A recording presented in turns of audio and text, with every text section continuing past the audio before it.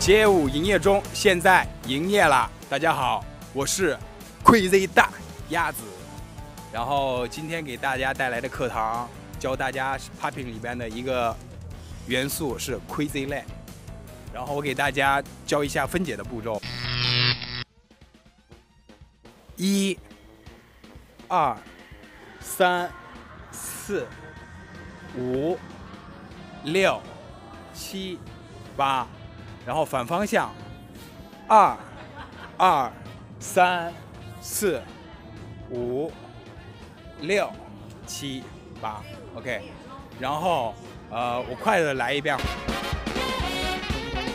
这个动作的要领是，啊，大家在做的时候要保持每一个角度和他那个动作要到位。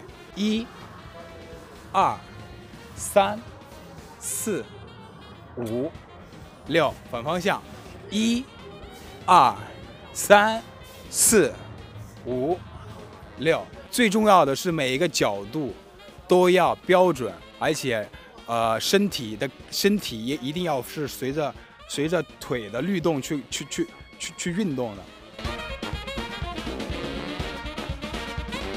为什么要做在趴面当中做这个动作呢？然后可以让可以帮助大家更好的表达音乐的呃特效。而且更容易让大家去移动，移动，然后做 crazy leg，可以让大家在视觉上有更多的层次感。在下去的时候，砰砰啪啪下去的时候，更加的干净和更加的有视觉效果。然后很多人在跳 popping 的当中呢，他不怎么用腿，而且没有移动，所以说会显得这个人不是在跳舞，只是在原地做 pop，就一直啪啪啪啪。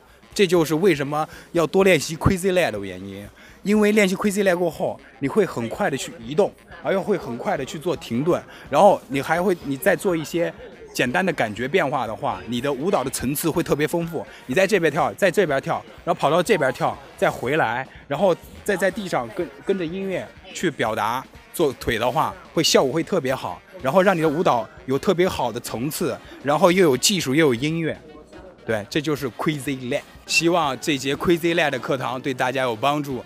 我是 Crazy Leg，呃的讲师鸭子。